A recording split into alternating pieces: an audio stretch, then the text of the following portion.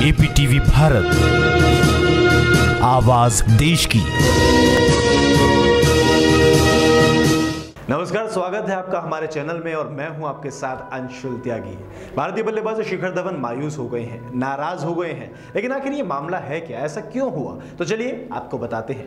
दरअसल ऑस्ट्रेलिया के खिलाफ खेले जाने वाली टेस्ट सीरीज़ के लिए शिखर धवन को भारतीय टीम में शामिल नहीं किया गया और इस कारण धवन दुखी है। हालाँकि वो अब इससे आगे भी बढ़ गए हैं। उन्होंने कहा कि टेस्ट टीम में शामिल ना किए जाने से उन्हें निराशा हुई थी, लेकिन अब वो आगे फ्यूचर की सोच रहे हैं। धवन ने एक इंटरव्यू के दौरान कहा कि हाँ मैं थोड़ा दुखी था, लेकिन मैं आगे बढ़ गया हूँ और मानसिक रूप से अच्छी स्थिति में भी हूँ।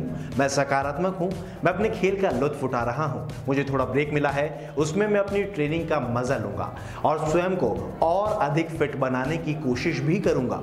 मैं खुश हूँ और जब मैं खुश होता हूँ तो चीज़ें मेरे लिए अच्छी होती जाती हैं।